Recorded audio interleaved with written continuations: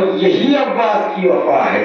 अब्बास ने जंग नहीं की, ये अब्बास की वफा है। दरिया पर गए, पानी नहीं पिया, ये अब्बास की वफा नहीं है। पानी तो अब्बास के घोड़े ने भी नहीं पिया। अब्बास की वफा ये है कि तमाम हुकूमतें रखते हुए, ताते इमाम पर नहीं मिलती। लेकिन हुक्म अमान अब्बास के पेश नज़र है।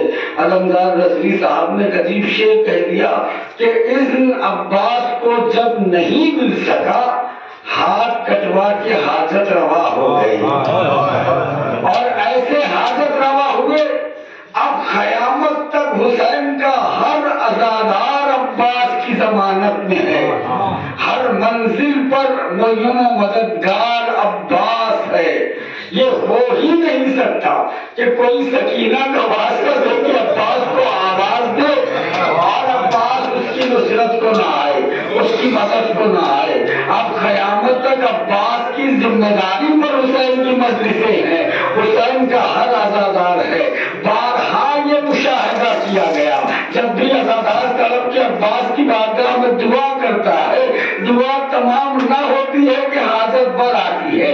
इसलिए कि अब्बास ने ये ज़िम्मेदारी ली है। बारहा देखा गया है। तारीख में ये मुआजा मिलता है। बानी में मलिस ने खसूसियत से हुक्म दिया इस मुआजे का। तारीख हिंदुस्तान में ये मुआजा है। ये मेरी तहकीक है। मौलवी जकाउल्ला ने इस मुआजे को लिखा कि हिंदुस्तान पर जब अंग्रेज़ों ने कब्जा किया खसूसियत से लखनऊ पे कब्जा किया तो वाजिद अली शाह की गिरफ्तारियों के बाद सारे सिपाहियों को खत्म कर दिया गया। महल में सिवाय औरतों के कोई बाकी अंग्रेज़ी फौजों ने यह चाहा कि अब महल पर कब्जा कर लिया जाए औरतों को असीर कर लिया जाए। अंग्रेज़ी फौजें महल में घुसने लगी। तो जितनी महिलात थी, जितनी शाही बेगमात थी, वो सरो सीना पीटती हुई आशुर खाने में दाखिल हुई। अब ये तारीख के जुमले हैं कि बेगम हज़रत महल ने